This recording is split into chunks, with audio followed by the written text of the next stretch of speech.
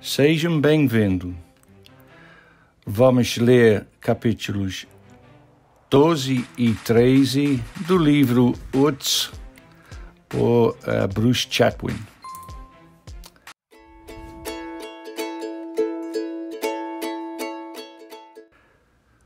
I am not an expert on Meissen porcelain, although my years of trapezing around art museums have taught me what it is. Nor can I say I like Meissen porcelain. I do, however, admire the boisterous energy of an artist such as Kändler at play with a medium which was totally new.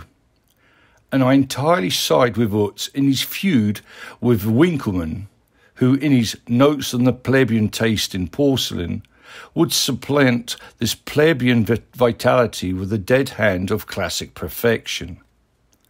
I'm equally fascinated by the way in which porcelain sickness, the Porzellanreich of Augustus the Strong, so warped his vision, and that his ministers, that their delirious schemes for ceramics got confused with real political power. Of Brühl, who would become director of the Museum Manufactory, Horace Walpole commented tartly he had prepared nothing but baubles against a prince, Frederick the Great, that lived in a camp with the frugality of a common soldier. Utz had chosen each item to reflect the moods and facets of the porcelain century the wit, the charm, the gallantry, the love of the exotic, the heartlessness and light hearted gaiety, before they were swept away by revolution and the tramp of armies. Capitula 13. Arranged along the longest set of shelves were plates, vases, flagons, and tureens. There were tea caddies of polished redware by the inventor of porcelain, Jonas Böttger. There were Böttger tankards with silver gilt mounts, teapots with watteau scenes, teapots with eagle headed spouts, and teapots painted with goldfish after Chinese and Japanese models. Utz came up behind me, breathing heavily. Beautiful, no? Beautiful, I repeated. He showed me an excellent example of Indian-esque Blumen and a turquoise bowl painted by Höroldt with a panel of Augustus enthroned as the Emperor of China. He showed me the Meissen imitations of Qiang Hao, the blue and the white, the porcelain his hero Augustus had loved so passionately, for which he had emptied his treasury to the dealers of Paris and Amsterdam. Causing his Ministry of Industry, Graf van Tschirnhaus, to moan, China is the bleeding bowl of Saxony. Pride of place, however, was given to a swan service tureen, a rococo fantasy on legs of intertwined fishes, the handles in the form of nereids, the lid heaped high with flowers, shells, swans, and a bug-eyed dolphin, which, for the bravura of its execution, would have been a monstrosity. I gasped, knowing that the way to endear oneself to an art collector is to rhapsodize his things. Come, he beckoned me across the room. I picked my way around the pelican and the rhino and arrived at the second bank of shelves where, in rows of five and six, were assembled a multitude of 18th century figurines, all dazzling clothed and coloured. I saw the characters of the Commedia dell'arte, Harlequin e Columbine, Brighella and Pantaloon, Scaramouche e Truffaldine, the doctor with a corkscrew for a beard, the captain who, being Spanish, had a jet black moustache. Which reminded me how the Italian players, the real ones, had been masters of extempore, who would decide what to play and how to play it, a mere five minutes before the curtain rose. He pointed to the personification of the continents Africa in leopard skin, America in feathers, Asia in a pagoda hat, while a lascivious, lascivious broad bottomed Europa sat astride a white horse. Next came the ladies of the court, Ladies with frozen smiles and swaying crinolines. Their wigs were powdered, their cheeks pocked with beauty spots, and there were black bows tied around their necks. One lady caressed a pug, one kissed a Polish nobleman, another kicks kissed a Saxon, while Harlequin peeped up her skirt. Madame de Pompadour, in a lilac dress scattered with roses, sang the aria from Lully's Acis i Galanti, which she had sung in real life with the Prince of Rohan for a partner in the Petit Théâtre de Versailles. The lower orders were represented, each according to his or her occupation the miner, the rope maker, the woodcutter, the seamstress, the hairdresser, and a fisherman hopelessly drunk. Shepherds trilled at their flutes. A Turk puffed a hookah.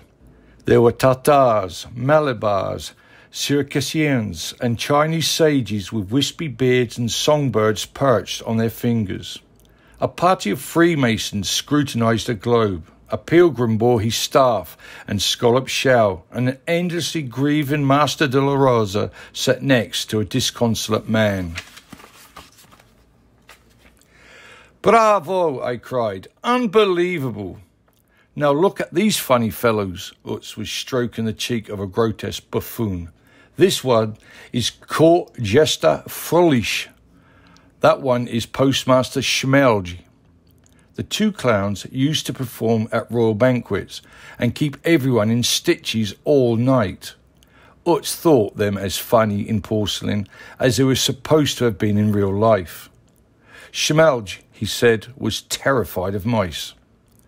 This was why he chose to portray the court jester in the act of teasing his friend with a mousetrap. Kändler, he sniggered, was a witty man, a sac- satirical man. He was always choosing persons to laugh at. I forced a nervous laugh. Now, sir, if you please, look at this one.